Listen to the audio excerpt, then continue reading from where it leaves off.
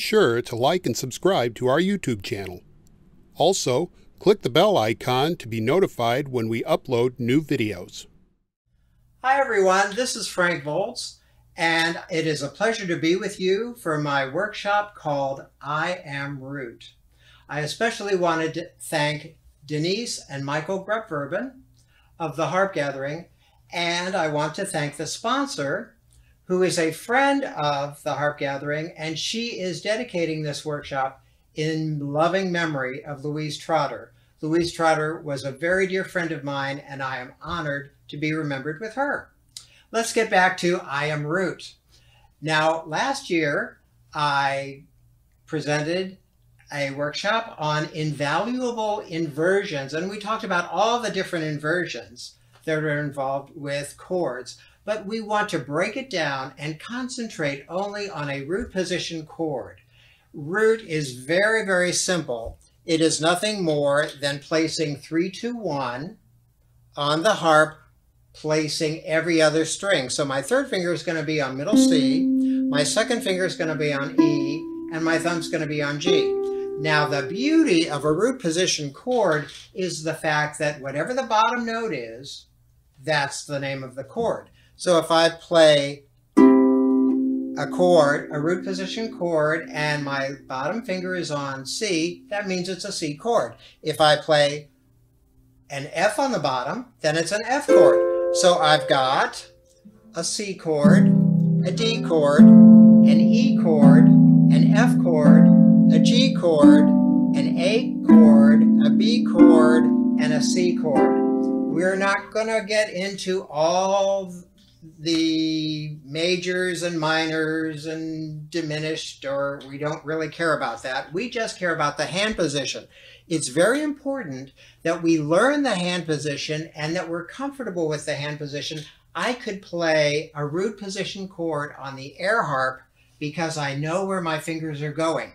So if I'm going to look at the very first exercise in our training materials, I see that the first two measures are going up the scale with the left hand in root position. So we start on a C, C, then D, then E, then F, then G, then A, then B, then C. Then it picks up with my right hand in the third measure, go doing exactly the same thing. C, D, E, F,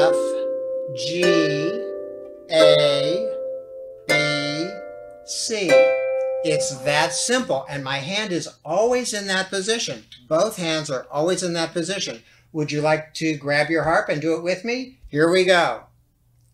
I'm going to take it at that tempo. I'm not going to speed it up. Here we go. One, two, ready, play. C, D, E, F, G, get ready with the right hand, tempo, C, D, E, F, G, A, B, C. Very, very simple. Very simple. Now we're going to do the same exercise, and this time when we get all the way up at the top, we're going to come all the way down, and we're going to swap hands in the middle on that C chord. You'll be able to do it. Here we go. Same tempo. Ready, play. C,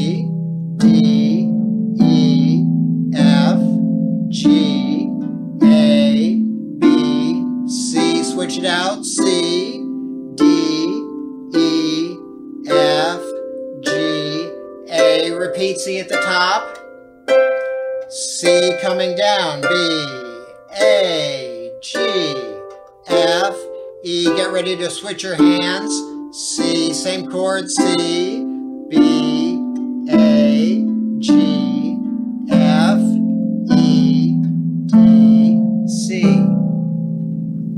Wasn't difficult at all, was it? No. We're going to do it one more time just to make sure everyone has an opportunity to get it right.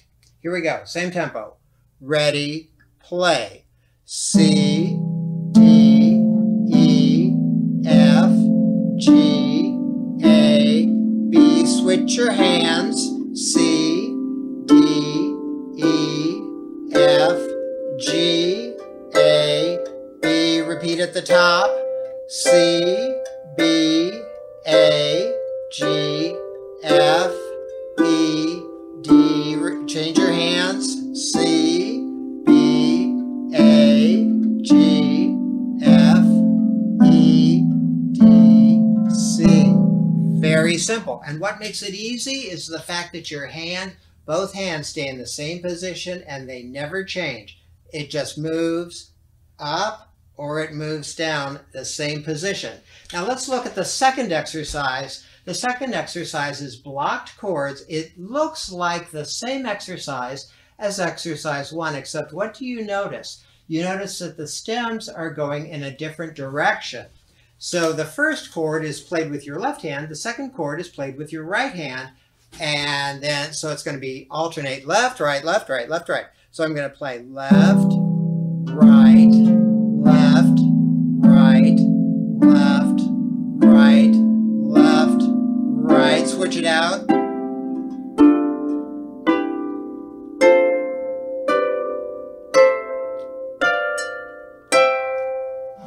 Now, that's the same exercise, but it makes you use a different part of your brain because you have to think, uh, what hand am I using? And you have to think, oh dear, what's the hand position? And you have to think in a different way. And that's a good thing because we are solidifying in our minds everything about root position. So let's do it again. Left hand, right hand, left hand, right hand, left hand, right hand,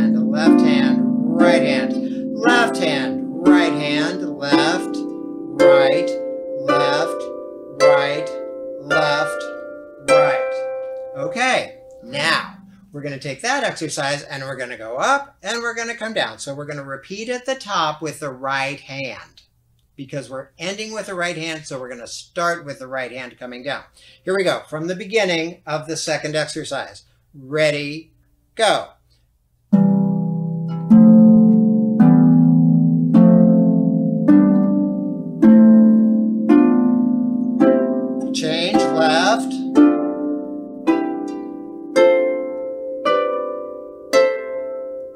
Repeat right hand at the top, right, left, right, left, right, left, right, left. Repeat with the right, left, right, left, right, left, right, left. Now, if that was challenging for you, you need to practice that. You've got these training materials in hard copy and you can put them on your on your music stand and you can practice them and get really good at moving around with your hand and using the root position. Now let's look at exercise three. We're looking at blocked chords and we're looking at patterns. If I'm, we're going to analyze that, let's just look at the very first measure. I'm going left hand, right hand, left hand. Just the first measure. Now, since I'm playing a C chord, my eyeball is looking at my third finger and staring at the red string. So that when my left hand comes up over my right hand, I know exactly where I'm going because I'm looking for the C string and I know that my third finger is going to go there. So it's going to be three on three, three on C red, three on C red, three on C red, three on C red.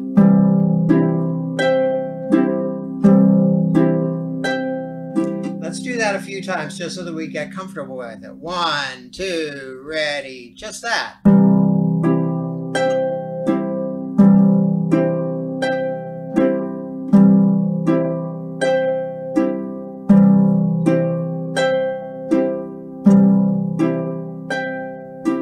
Good, good, good, good. Okay, so now we're going to look at that, the next four bars, which is a chord progression, and that's going to be C, F, G, C. So I'm going to go from the C. Remember, the bottom note is the name of the chord. So I'm going to go from a C to an F to a G, back down to a C. But I'm going to use that pattern. So it's going to be C, C, C, C, F, F, F, F, G, G, G, G, back down to C. Let's do it again and repeat. C, C, F, F, F, G, G, G, back down to C. Okay, now the next two exercises, or I should say the third and the, the fourth and the fifth line of this workshop, you would play the fourth line if you have a small harp, and you would play the bottom line if you had a large harp, because, because the bottom line goes into a, a larger section of the harp we're going to play a 1, 6, 2, 5 progression. 1 is C, 6 is A, 2 is, yep, D, and a 5 is G. This is the most common chord progression in pop music. 1, 6, 2, 5. 1, 6, 2, 5. Just do this with me. 1, up to six, down to two, up to five, down to once, up to six, down to two, up to five, down to one, up to six, down to two, up to five. And what do you notice? You notice that there's a pendulum effect to this. You go down, then you go up, then you go down, then you go up, then you go down, then you go up, then you go down, then you go up. But 1625 can go the opposite direction, but stays in the pendulum. So I'm going to go from a one chord, which is C, down to A. Instead of going up, I'm going to go down. Then I'm going to go up to D, down to G, up to C, down to A, up to D, down to G, up to C, down to A, up to D, down to G. So, it's up to you to decide, have I got enough strings to do the fourth line or do I have enough strings to do the fifth line? And they're going to sound the same, they're just going to be in a different register. So I'm going to go ahead and play the fourth line just so that everybody can hear it and everybody go ahead and play along with me. If you have a 36 string harp, you should not have any problem with either the fourth or the fifth line. If you have a small harp, you're going to want to stay with the fourth line. So here we go, and I'm going to play that same pattern, now I'm going to use 1625. I'm going to go up, then down, then up, then down, then up. Here we go. One, two, ready, and C, up to A, down to D, up to G, back down to C, repeat it. C,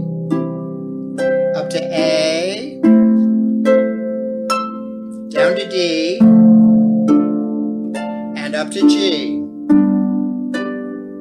and end with a C chord. Now, some of us, because we are in a small harp, have to repeat that exercise. But those of you who have a larger harp, we're going to do line, the fifth line, and that's going to go like this. Instead of going up then down, we're going down then up. Here we go. One, two, ready, and C, down to A, to D, down to G, up to C, repeat, down to A, up to D, down to G. Okay, now we have played everything in blocked position. We've played everything in blocked position. While we're here, one last thing that isn't on the sheet.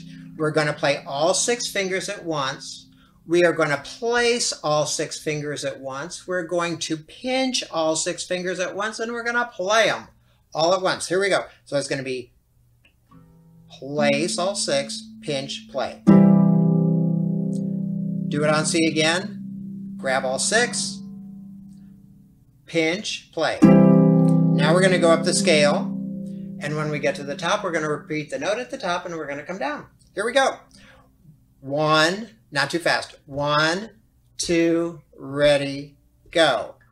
One, two, three, four, five, six, seven. One, repeat at the top.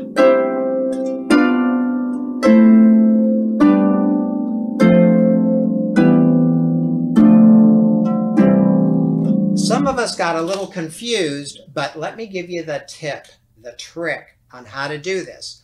Follow your third finger. Follow your third finger. Your third finger is going up the scale, la la la la la la la la la, and your and the other fingers are just following along because we've been in the root position all the time.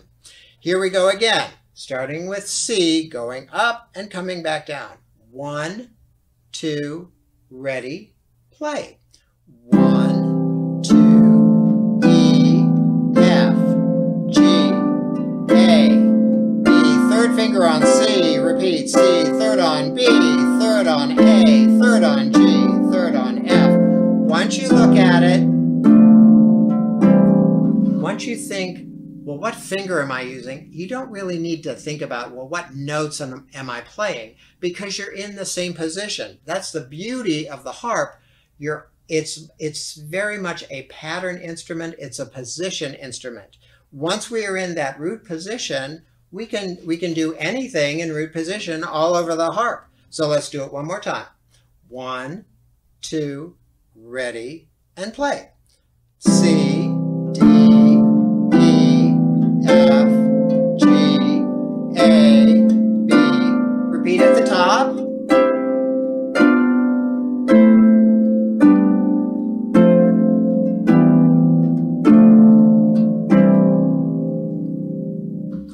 So that's pretty much it for blocked chords. Now we're going to take that same hand position, that same root position, and we are going to play broken chords. And it's going to be three, two, one, three, three, two, one, three, two, one, three, two, one, three, two, one.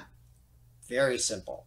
So I'm in the same hand position, looking at page two, at the very top line, I'm playing triplets, triplet, moving up one string, E, F, G, A, B, C.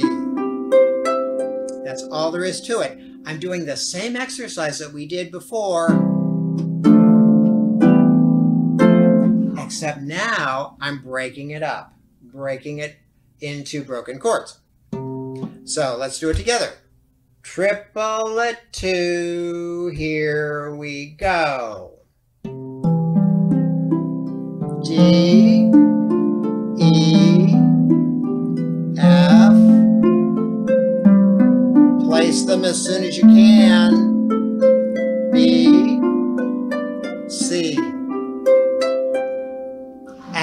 The next line. It's broken chords descending. So we're going to do the same thing going down. So this time, rather than following your third finger, what are we going to do? We're going to follow our thumb. So it's going to be, and we're going to start with the right hand coming down. So it's, so it's kind of like cascading arpeggios down, descending. Thumb on E, thumb on D, thumb on C, thumb on D, thumb on G. So now let's take those two exercises and put them together. One, two, triplet, go.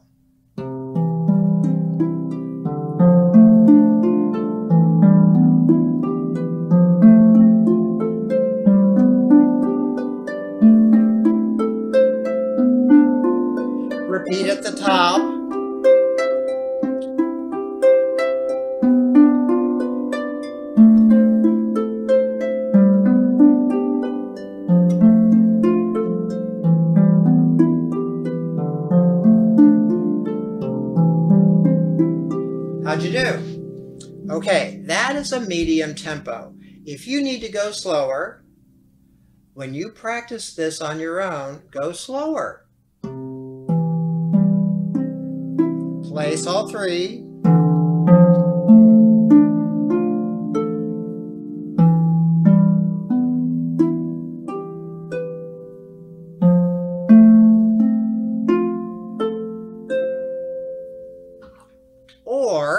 This isn't very challenging and you want to make it challenging, you know what to do. Speed it up.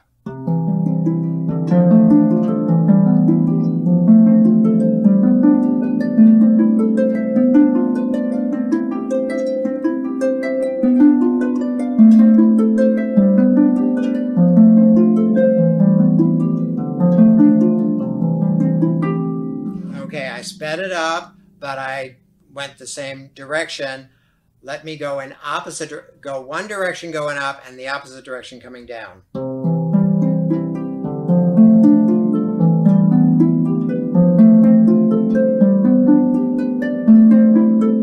I'm to lead with my thumb. Thumb.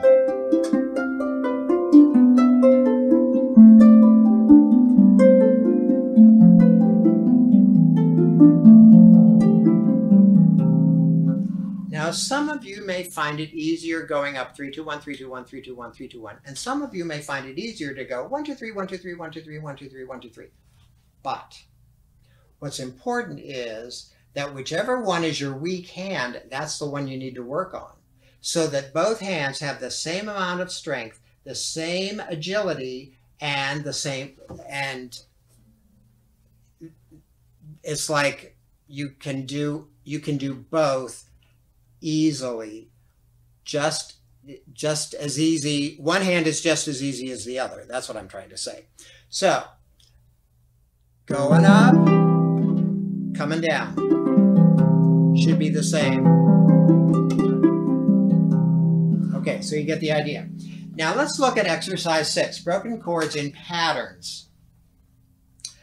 I see that we have a 1625 one, six,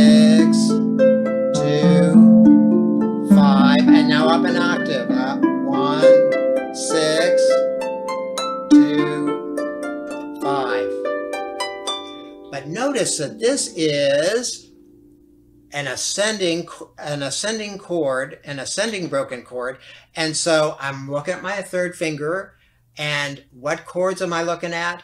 1625 is going to be C, A, D, G, C, A, D, G. So your third finger is going to tell you where to go.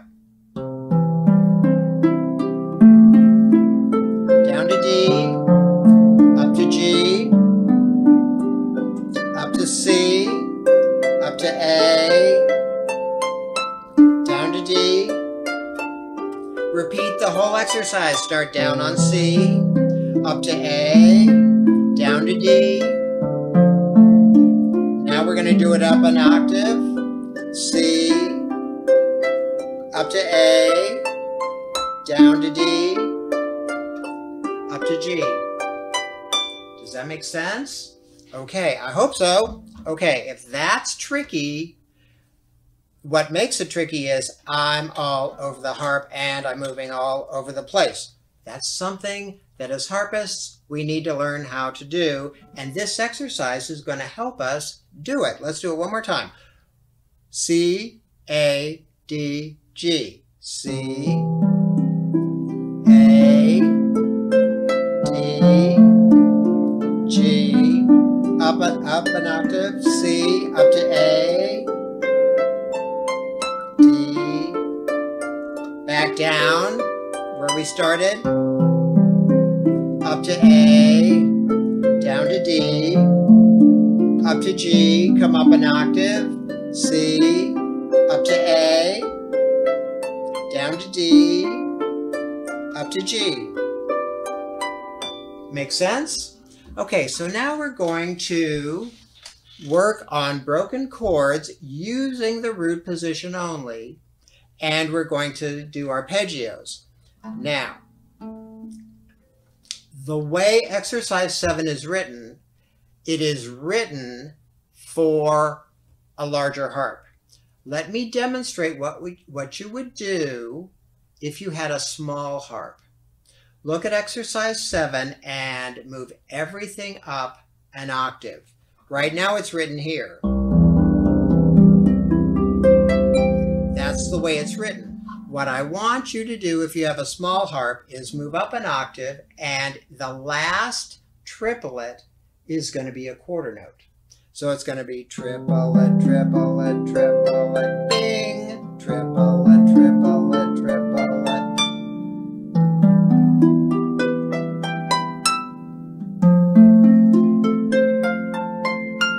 Okay, at some point you're going to run out of notes if you're on a small harp.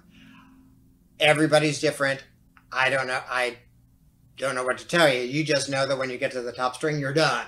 Okay, but for those of you who have big harps with lots of strings, we are going to do this whole exercise and we are pretty much going to use the extremity of a 36 string harp.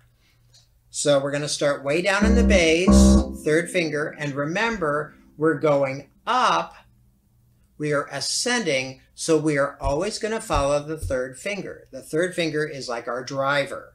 We're not using our thumb as our driver this time our, we're using our third finger. So it's going to be triplet, triplet, triplet, triplet. And it's going to be hand over hand over hand. Down to D. Up to E.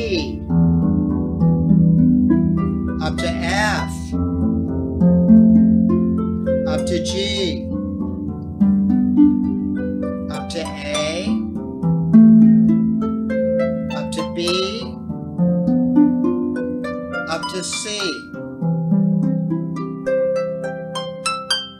That's it. That's that is exercise 7. Let's do it one more time. If you're starting down here, start down here. If you have a small harp, start up here. C below left hand, the third finger is on C below middle C. If you've got a larger harp, you're an octave lower and you're two C's below middle C. Okay, so let's try the exercise again. I'll take it a little slower just to make sure everybody gets a chance to do it right. Here we go. Triplet two, here we go. Triplet. Now I'm going to move to the D. Left hand is going to move to the E. Now left hand moves to F.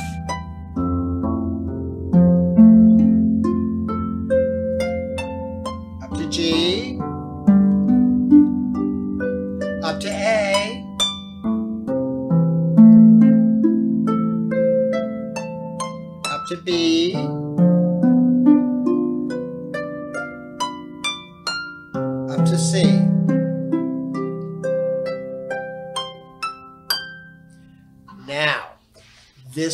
exercise that you should learn to do slowly at a moderate tempo and quickly because this is the basics of an arpeggio.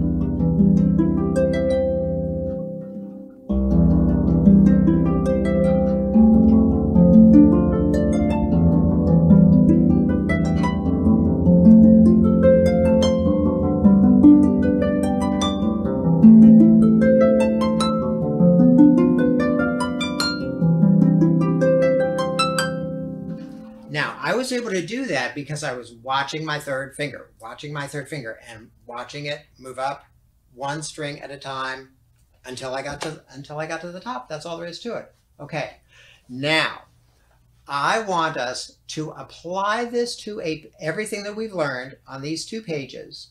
I want us to apply to a piece of music. But in order to do that, we need to change keys. We need to move levers. So I want us to change from the key of C to the key of D. In order to do that, I'm going to sharp my F's and my C's. I'm sharpening all of my F's and my C's, and you're sharpening all of your F's and your C's. Yes, you are. Okay, now on page three, you have just a bunch of alphabets. You have an alphabet list. D, A, B, F, G, D, G, D, A, B, F, G, D, G, A. So I am going to play. Now, if I'm on a small harp, this is what I want you to do. Like, let's just pr practice the D. Triplet, triplet. So it's going to be triplet, triplet, half note. And you're going to grab, grab that last note with your second finger. Again. Triplet, triplet, half note. Then we're going to go down to A. Triplet, triplet, half note up to B. Down to F. Up to G. Up to D. Down to G. Up to A. wonder what the name of that piece could be. Well, I'm not going to tell you just yet. I am going to give you another rhythm to think about. We were playing seven notes. I've got one, two, three, four, five, six, seven notes. And it was triple and triple and half note. Now we're going to go eighth, eighth, eighth, eighth, eighth, eighth quarter. Eighth, eighth, eighth, eighth, quarter and. Eighth, eighth, eighth, eighth, eighth, eighth quarter and. Four, one and two and three and four and one and two and three and four and one, two and three and four and one and two and three and four. Now, some of you are going to like it the first way we did it with triplets, and some of you are going to like it the way we did it with eighth notes. So let me show you again the eighth notes. Uh, the triplets was triplet, triplet, half note. Say it with me. Triplet, triplet, half note. Triplet, triplet, half note. That's the way you want to play it. Or maybe you want to play it eighth, eighth, eighth, eighth, eighth, eighth quarter, eighth, eighth, eighth, eighth, eighth, eighth quarter, eighth, eighth, eighth, eighth, eighth, eighth quarter. I like the second one with the eighth notes.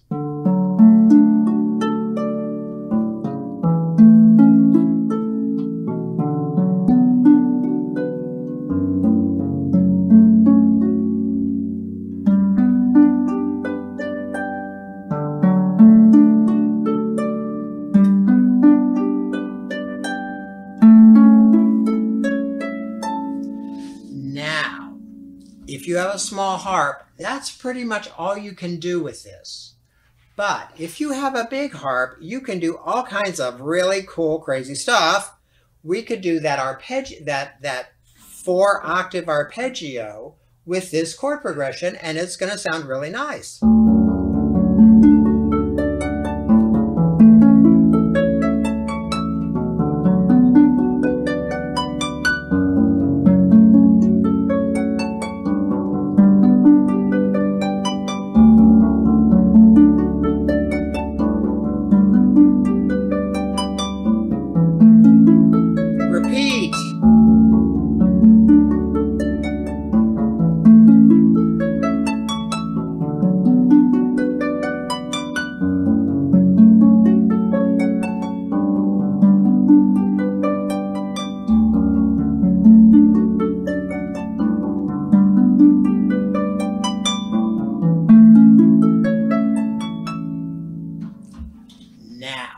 What's really cool is the fact that all you had to think about was DABF GDGA.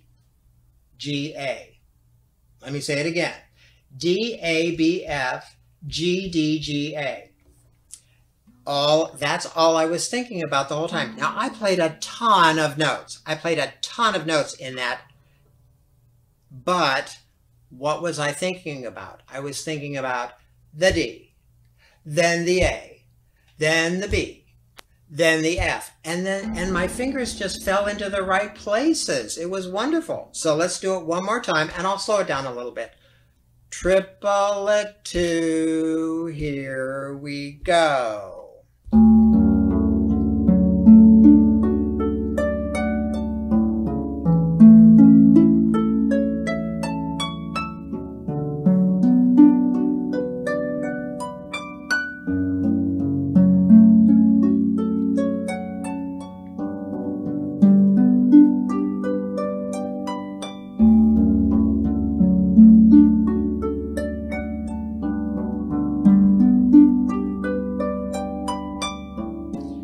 Do it one more time, and this time I'm going to say the, the note.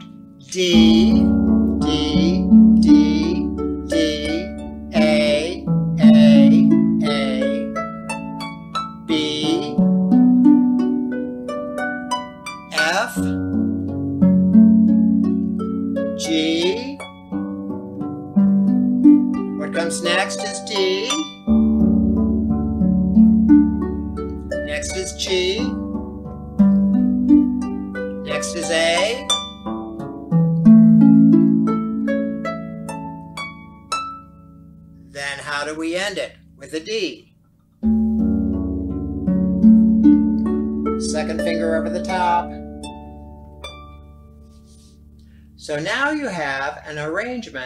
Canon in D by Pachelbel that you could use at a wedding or you could use at church or you could use for any occasion and you don't even have to think about the notes on the harp. All you have to do is think about where do I start and what do I do?